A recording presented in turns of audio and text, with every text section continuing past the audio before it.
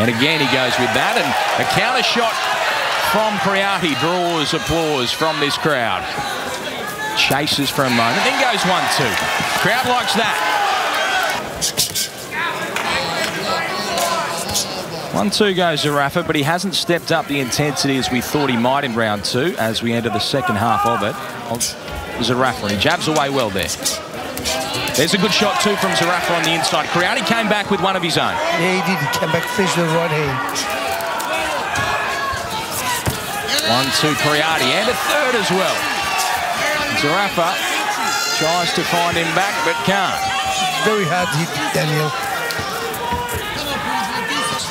Nothing meaningful has landed, really. Through four. Oh, meaningful shots thrown there at least. Creati comes forward. Left hook from Zerafa just falls short. Now he goes to the body. He's got Creati in the corner, but Creati moves nicely. From Zerafa to start this round. Body shot. Nice body shot. Really good left hand to the body from Zerafa. Twist um, position. That was a, a, big call. It's the first time I've ever heard that in the boxing arena. The Oliver twist position. he's one of the nicest guys in the sport. He loves the sport. But uh, yeah, tonight he's not doing much to um, you know validate uh, anybody to think uh, something uh, terrific about him.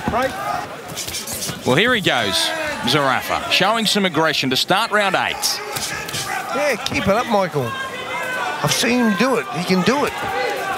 He can definitely do it. He is world class when he goes. Michael Zerafa. Let's see if now is the time.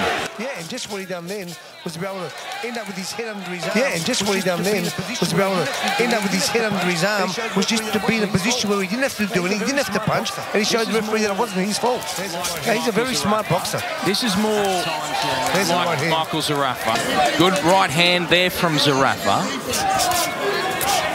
And better shots as he lifts his work rate. Biggest night of his sporting life, and he's done what he does, and he hooks with Zerafa there. Good little moment from Creati. Oh, nice Big right, right hands. Good shot, Zerafa. Without doubt, Ben, it's very, very hard to hit. And he knows exactly how to hold when he Jab there, Creati, as well. And Zerafa comes back. He felt that shot from Creati, and he came back with a couple of his own. And now he's on the chase as Michael Zerafa. And some urgency from both fighters. All right, ladies and gentlemen, after 10 rounds of middleweight professional boxing action, we go to the judges' scorecards for a decision. Judge John Cauchi scores the competition 98-93. Brad Vocali 99-91. And Charlie Lucas 98-92 for your winner by unanimous decision, fighting out of the blue corner,